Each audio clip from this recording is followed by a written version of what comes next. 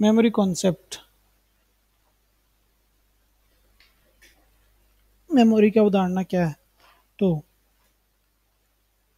किसी भी कंप्यूटर में, जैसे यहाँ पर तीन स्टेटमेंट लिखे variable names corresponds to location in the computer's memory every variable has name a type and value कोई उसी प्रोग्राम में कोई भी वेरिएबल है, वो किसी नाम से हम लिखते हैं और वो कंप्यूटर में किसी मेमोरी स्पेस को रिप्रेजेंट करता है किसी लोकेशन पे मेमोरी क्या को रिप्रेजेंट करता है उसको हम्म, दर्शाता है।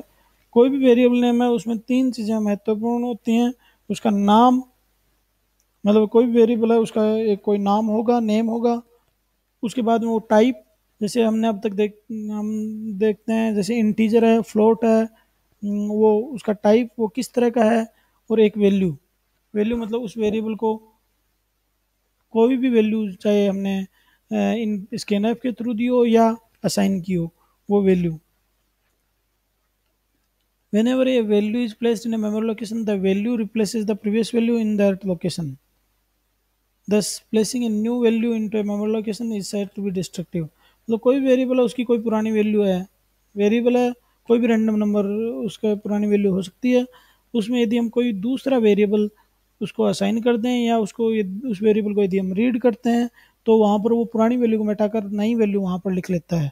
इसको हम डिस्ट्रक्टिव कहते हैं कि मेमोरी में वहाँ पुरानी वैल्यू ख़त्म हो चुकी है।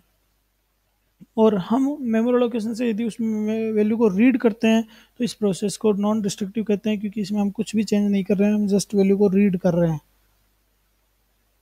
हम कुछ उदाहरण लिखते हैं, जैसे हमने स्कैन ऐप और उसके अंदर परसेंटेज डी लिखा मतलब परसेंटेज डी का मतलब यहाँ पर एक वेरिएबल रीड करेगा और आगे इंटीजर वन लिख दिया तो इंटीजर वन की जो पुरानी वैल्यू है, हम जब प्रोग्राम को एग्जीक्यूट करेंगे तो वो इंटीजर वन की जो भी पुरानी वैल्यू है, उसको डिलीट कर देगा और वहाँ पर नई वैल्यू स्टोर कर देगा। तो इंटीजर वन नाम के वेरिएबल की कोई वैल्यू हो जाएगी। उसको कोई वैल्यू मिल जाएगी। दूसरा स्कैन स्टेटमेंट है, उसमें फिर से हमने परसेंटेज डी लिखा है और यहाँ एक इंटीजर टू नाम का वेरिएबल इनपुट में लिया है। मतलब यहाँ पर हम कोई वेरिएबल देंगे, वो रीड करेगा तो इंटीजर टू की वैल्यू को डिस्ट्रॉ कर देगा। इस तरह sum equal to I integer one plus integer two print f लिखे हमने।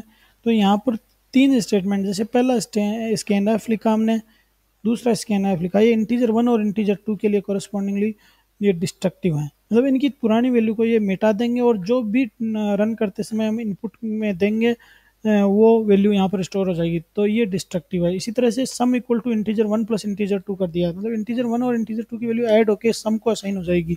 यहाँ पर सम की जो पुरानी वैल्यू है, वो खत्म हो जाएगी और नई वैल्यू सम की वहाँ स्टोर हो जाएगी। इसलिए सम के लिए ये असाइनमेंट है, वो डिस्ट्रक्टिव है।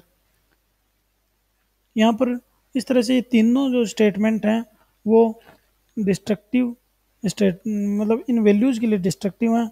और बाद में हम देखें sum equal to integer one plus integer two ये ऑपरेशन करने में इंटीजर वन और इंटीजर टू की वैल्यू सिर्फ़ रीड की जाती है। उस वैल्यू को में कोई चेंज नहीं किया जाता।